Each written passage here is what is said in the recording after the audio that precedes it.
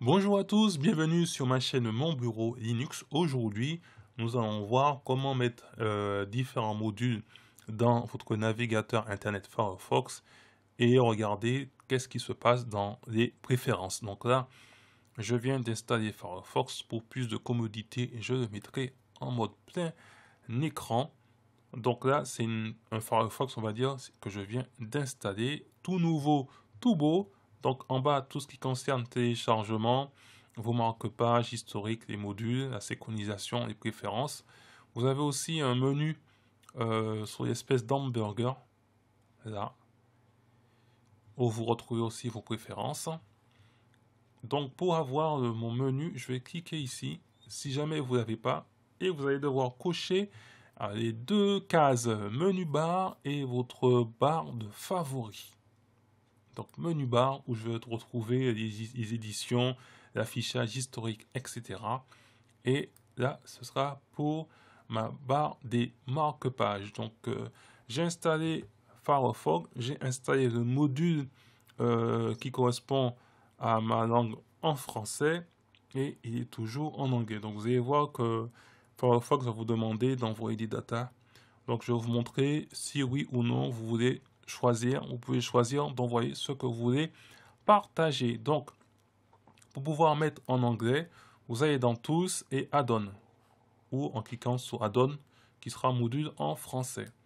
Vous cliquez sur Add-ons, vous allez dans Languages, et vous voyez que le service pack est grisé en français, donc il faut Enable. Donc il faut l'activer. Et pour que Firefox puisse se mettre en français, parce que ça pas se changer comme ça, on va dire dans un claquement des doigts du français à l'anglais, il faut simplement que vous euh, redémarriez, euh, faut redémarrer Firefox. Donc vous le quittez, vous fermez Firefox et vous redémarrez Firefox. Donc moi j'ai fait quitter, mais je pense pas que j'ai fait, je l'ai lancé à nouveau. Donc vous le lancez à nouveau, et vous avez votre Firefox en français. Nous remettons en mode plein écran. Nous allons dans édition, nous allons regarder tout ce qui concerne les préférences. Donc ça c'est pour la recherche.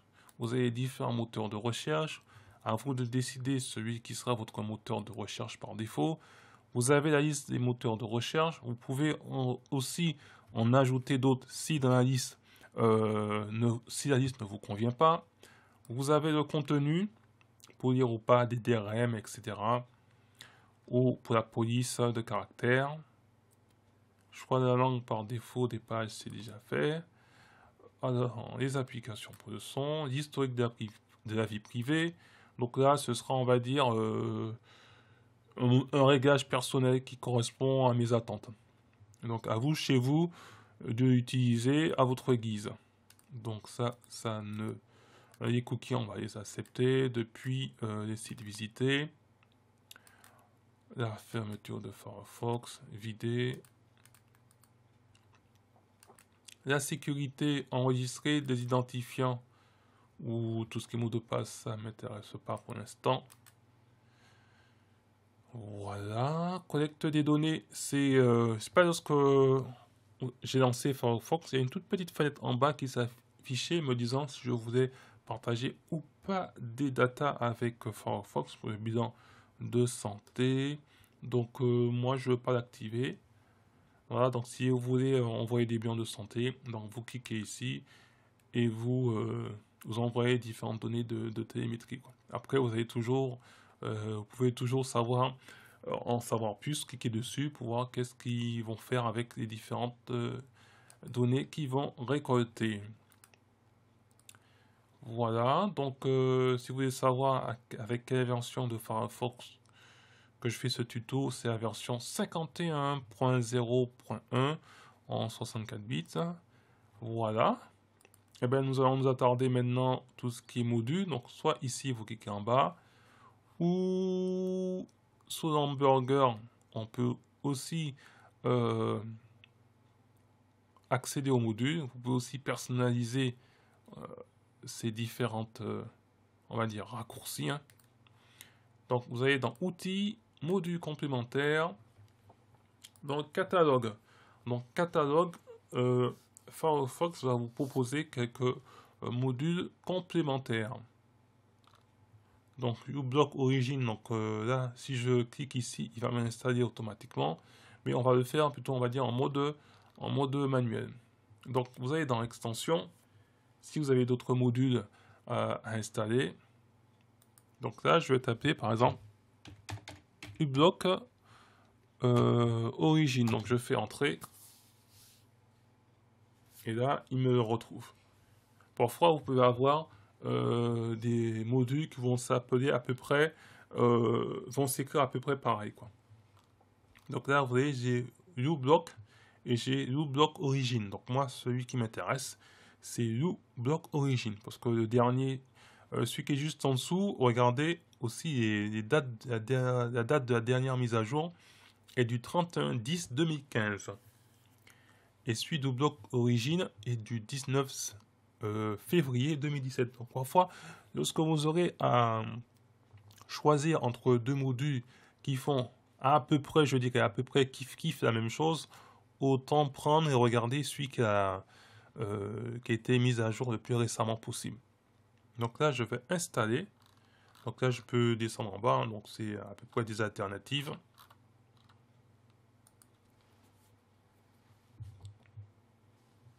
Donc voilà, c'est fait. Il y a la petite icône qui est apparue. Je vais installer, euh, je vais vous montrer juste deux trois ghosteries. Vous cliquez sur installer. Vous pouvez euh, cliquer sur plus et voir de quoi ça parle. Lire toute la documentation, on va dire ça comme ça. Allez sur la page d'accueil du site euh, du module en question. vous pouvez voir à peu près, je ne vous dis pas de dire les 1363 appréciations, mais sur les 1363, euh, on va dire, votes qui étaient donnés, eh ben, c'est 5 étoiles sur 5. On va le faire. Ça va vous offrir euh, un nouvel onglet. Et là, vous voyez euh, les 1363. Eh ben, en fait, c'est une, espèce de moyenne qu'ils ont fait. Donc à vous de voir. Hein. Il y aura des, personnes qui vont mettre 5 euh, sur 5, d'autres qui vont mettre euh, une étoile sur 5. Donc à vous de à vous de voir. Hein. Donc euh, en différentes langues parfois, mais je pense que là, ce sera plutôt en anglais. Donc on va l'installer.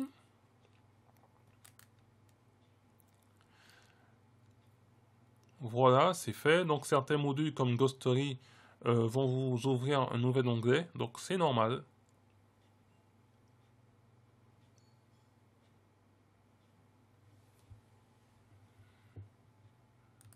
Alors non merci, non merci. Et je ferai ça tout à l'heure. Euh, pas besoin de compte pour l'instant. Donc là, c'est différents mouchards que le module en question va bloquer.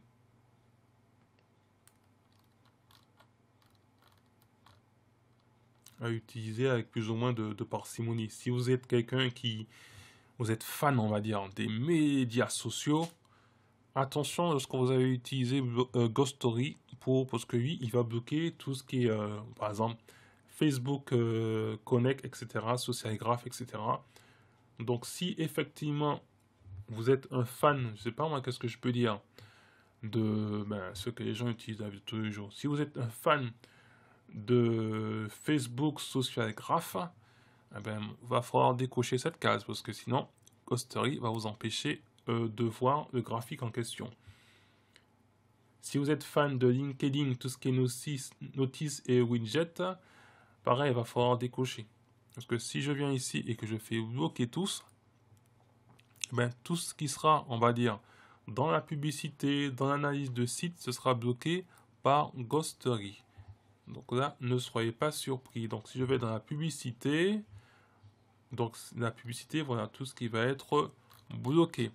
Donc je vais vous montrer un dernier et troisième qui va vous demander par exemple de redémarrer. Il y a des modules qui vont vous demander de redémarrer Firefox une fois euh, que vous l'avez installé pour que ça puisse être bien pris en compte. On va dire ça comme ça.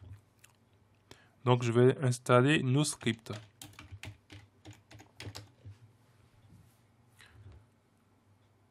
Donc nos scripts, voilà, vous pouvez toujours cliquer sur plus. Sur plus, donc c'est quelque chose qui va vous une protection supplémentaire sur euh, pour Firefox. Vous pouvez toujours aller sur le site, voir les appréciations, regarder la date de la dernière mise à jour qui date du 17 janvier 2017. Et là, je pouvais toujours aussi contribuer. Hein. Là, je vais cliquer sur installer. Et une fois que je vais cliquer sur installer, eh ben, nos scripts va me demander de redémarrer Firefox. Donc certains modules, afin que vous puissiez les utiliser, il va falloir euh, redémarrer euh, Firefox. on va faire redémarrer Firefox. Je vous rassure, ce n'est pas tous les modules qui vont vous demander de redémarrer Firefox. D'autres modules vont s'installer simplement, d'autres vont vous ouvrir un nouvel onglet et d'autres vont vous demander de redémarrer Firefox.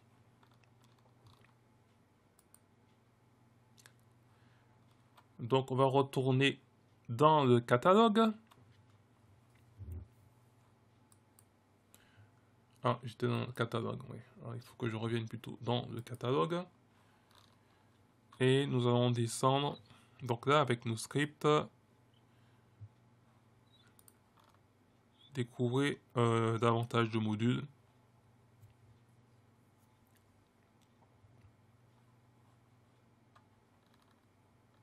Donc ici, vous allez faire vos courses. Hein.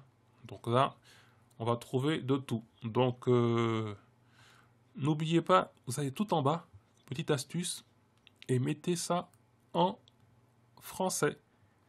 Bien sûr, dans la langue, dans votre langue maternelle, mais bon, si on est en français, on va mettre tout en français parce que là, même si mon Firefox était en français, là, il ne l'a pas mis en français. Donc, petite astuce, lorsque vous êtes sous les modules, descendez tout en bas, prenez l'ascenseur et dans autre langue, mettez français parce que par défaut, il est resté en anglais. Et là, vous avez les différentes catégories euh, d'apparence, euh, de marque-page, d'onglet, etc. Et là, vous allez faire vos courses. Il y a tout aussi, euh, tout ce qui est module en vedette, ceux qui sont les plus populaires, ceux qui sont les plus les mieux notés. Donc voilà, sur ce, je ne serai pas plus long. Donc je vous souhaite une bonne fin, il est 19h03. Un bon appétit, vous allez bientôt passer à table. Et une bonne fin de. une bonne fin de soirée, une bonne soirée tout court. Hein. Et je vous dis à la prochaine vidéo. Et en attendant, n'oubliez pas de garder la forme et la santé. Bye bye